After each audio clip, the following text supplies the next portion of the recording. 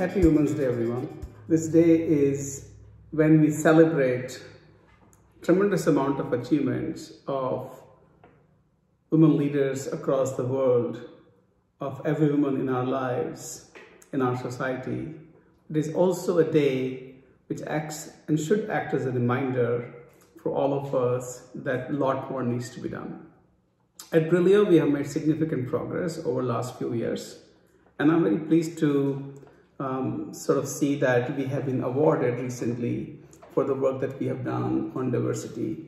But at the same time, I think there is uh, also a need for us to commit in, in a, a lot more aggressive way towards this empowerment of women leaders.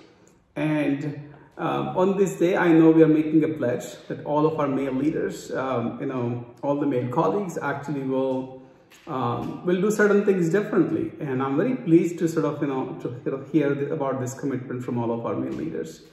So here are the three things that I do uh, that hopefully, you know, can uh, maybe uh, act as an input uh, for all of you. Uh, first, uh, internalize. You want to support women leaders. You want to, um, you know, uh, make sure that you know your environment actually is right. You want to sort of commit to sort of making sure that you know you build a very diverse team very diverse you know sort of broader team.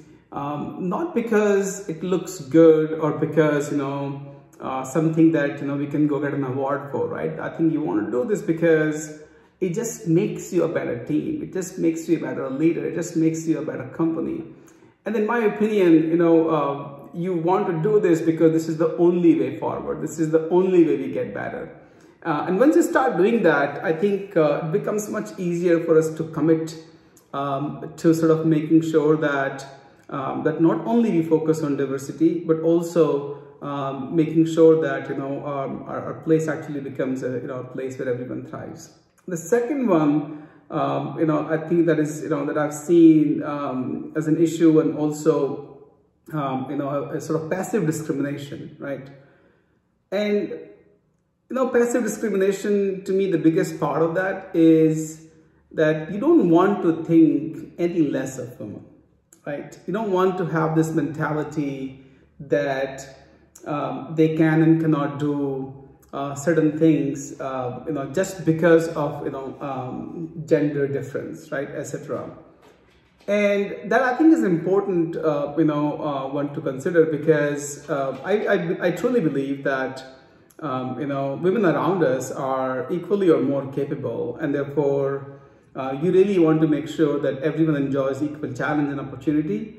Uh, and once we start doing that, I think um, the place becomes, um, you know, our, sort of, you know, everything uh, becomes, you know, a lot more, um, um, uh, lot more progressive and I think you actually can uh, you know deliver in my opinion much better results. And the last thing that I would say is um, be the real support okay? And you know uh, our workplaces our, our sort of work hour policies etc while we are making certain changes in you know in flex hours and you know and making sure there are some facilities available to women you know uh, in our workplaces.